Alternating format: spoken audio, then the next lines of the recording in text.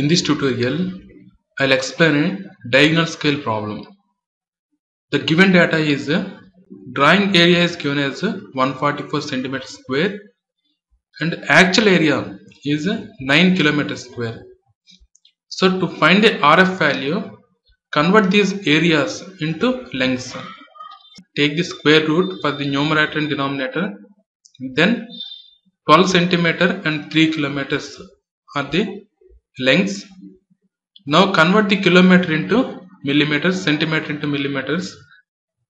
After simplification, RF value is 4 by 10 to the power of 5 and maximum length given in the problem is 5 kilometers.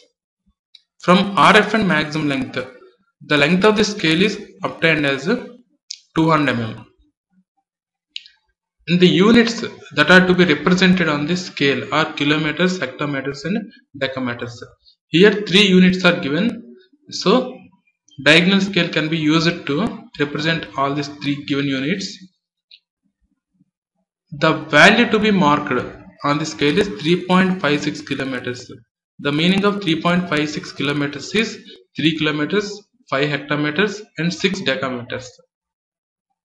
To start the drawing, first take the length of the scale. So this is the length of the scale obtained. Using this length of the scale, first draw a line. That line has to be divided into some number of equal parts. Further observe this maximum length and the bigger unit among these three units. The bigger unit is kilometers. Maximum length is 5 kilometers.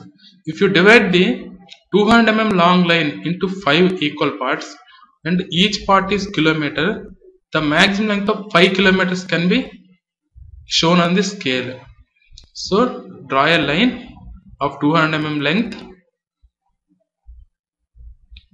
as shown here. Call this as some AB. So here on this line you will get kilometers and hectometers. Now divide this into 5 equal parts as shown here. This is 0, 1, 2, 3 and 4.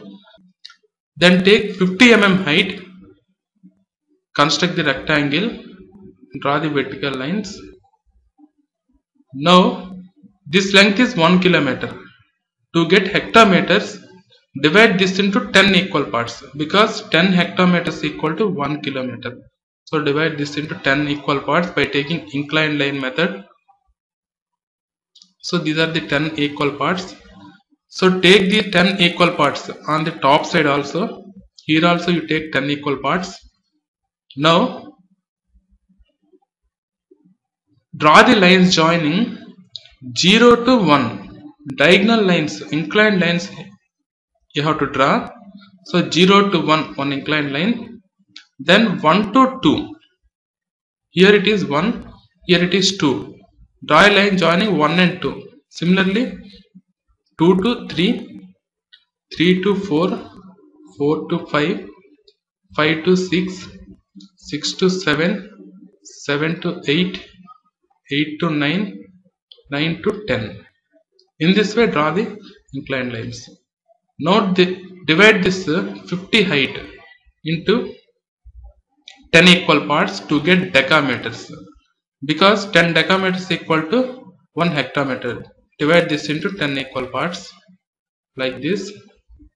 This is first division 1 draw a horizontal line passing through 1 then 2 3 4 5 6 7 8 9 last one is 10 now to represent the given value that is 3 kilometers and 5 hectometers and 6 decameters.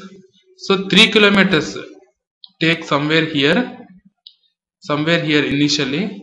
Then 5 hectometers will be somewhere here. From 5 hectometers along this inclined line take 6 decameters. This is 1 2 3 4 5 and 6 now draw the line joining these two points. That means the line joining mn is representing the given length. This is the required line. Draw the extension lines.